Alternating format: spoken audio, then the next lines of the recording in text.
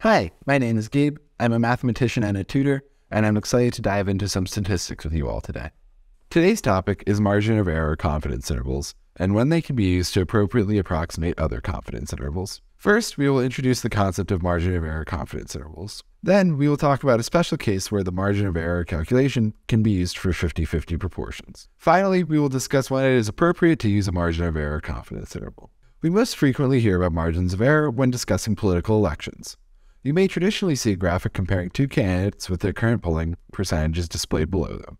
Say 54% for the blue candidate and 46% for the orange candidate.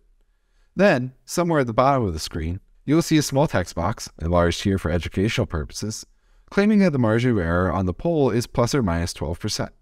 A cunning observer, you notice that this means that this leaves a big range for our candidates to flip orders, and includes scenarios in which the orange candidate is actually winning. So where does this margin of error come from, and why is it reported so much more frequently than a confidence interval? In short, the margin of error is a quick way to estimate a sampling error in some dataset. In this video, we will consider it for a single population proportion and discuss how it is related to a confidence interval. Let's review the general structure of a confidence interval and see how it leads to the margin of error. Confidence intervals will begin with the sample statistic at their center. From there, we add and subtract by a factor consisting of two components, a multiplier, which is dependent on the desired confidence interval and the underlying distribution of the sample, and a standard error. The standard error is a function of the sample statistic, some metric of the sample variance, which we will discuss for each statistic, and the sample size.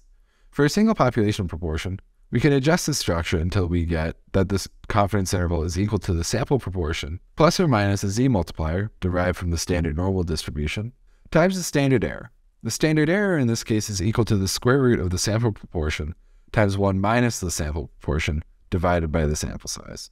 Now, the most commonly reported confidence interval is the 95% confidence interval. If we consult the standard normal distribution, the 95% confidence interval around the mean stretches almost exactly two standard deviations from the mean. The 95% area on the inside corresponds to an area under the curve of 0.095. More precisely, this area stretches out to plus or minus 1.96. This, however, is close enough to 2 that we often round up to plus or minus 2.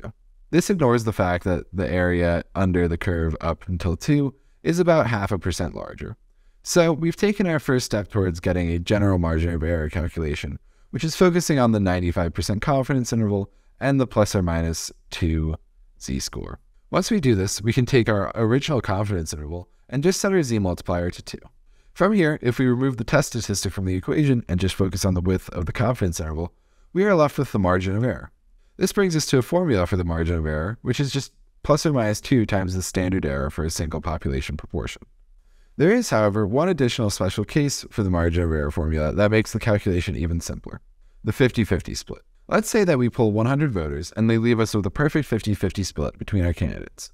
Let's work this problem from the perspective of the blue candidate in which case we say that we have n equals 100 and a sample proportion of 0.5. From here, our margin of error is given by our previously derived equation.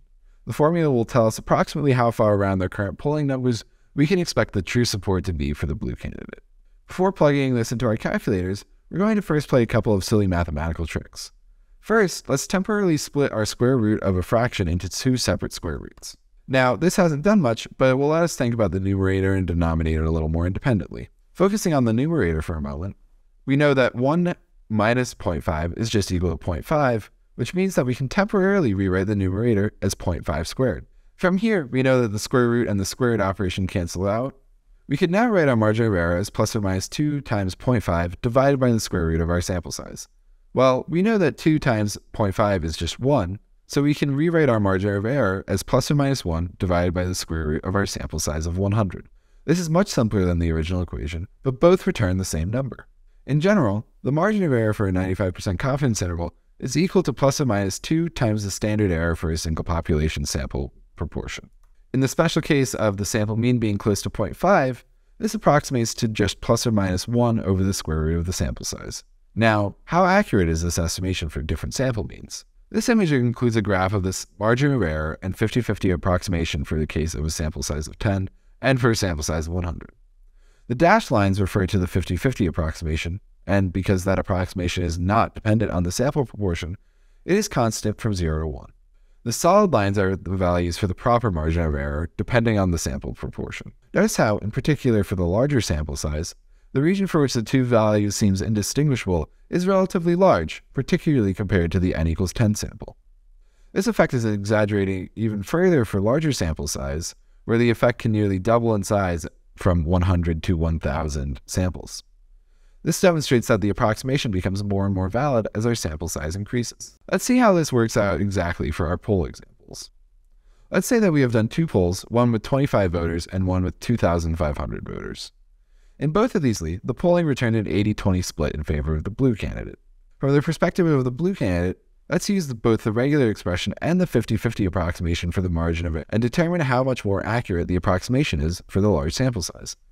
Work out these values on your own. Let's work out the margin of error for the small sample size first. The margin of error will be plus or minus 2 times of 0.8 times 0.2 divided by 25.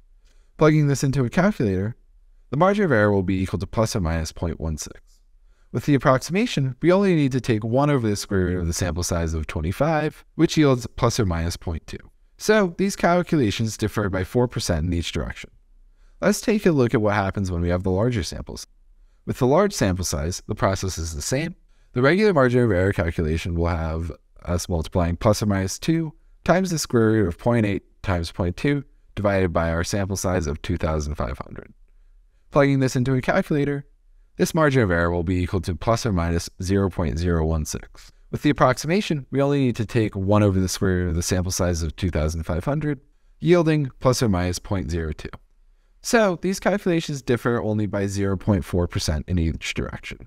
Let's tabulate the results together. So, in both cases, we find that the exact margin of error is narrower. Still, with a large enough sample size, even though we are far from 50-50, the approximation is still within 0.4% of the exact result. The approximation, however, as it was demonstrated in the graphs, is always going to be greater than the exact value, so they only match exactly at 50-50. The approximation overestimation, however, is acceptable for most polling applications, as it is frequently good to overestimate the noise and potential variance in the polled population. The statistical methods we use are strongly based on the theory of random variables, and the tighter windows from exact statistics do not always apply to the settings where we are taking polls. Over the course of this video, we discussed how formulas for the single population proportion confidence interval lead to the concept of a margin of error confidence interval.